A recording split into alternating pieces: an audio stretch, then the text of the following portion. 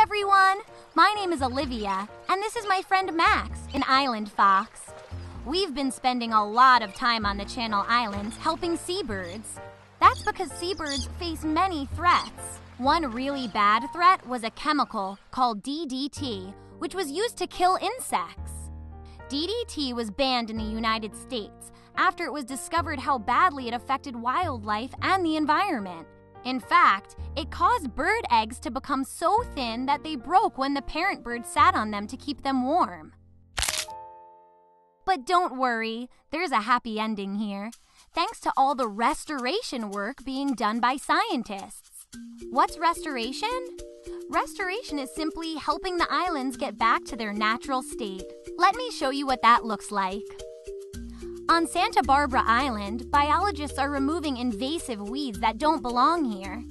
In its place, they're planting lots of native shrubs that benefit seabirds like the Scripps's murrelet, which, like most seabirds, spends much of its life out at sea. The Scripps's murrelet comes to the islands in order to reproduce. It makes a nest under the large shrub where it lays its eggs, hidden from predators.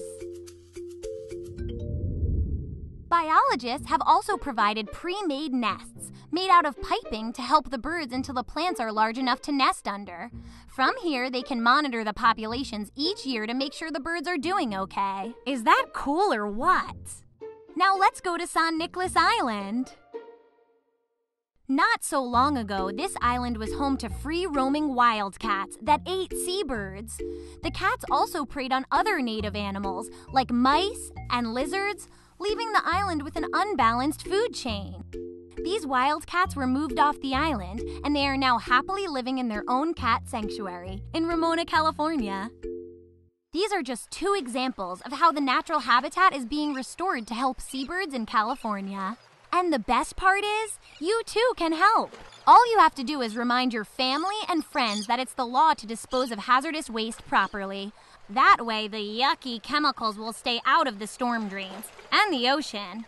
And then, do me a favor. Be fantastic. Eliminate plastic. That means cut down on buying plastic items and recycle what you can. The seabirds and our planet need all the help they can get. Max and I are off to do some beach cleanup now, so we'll see you around.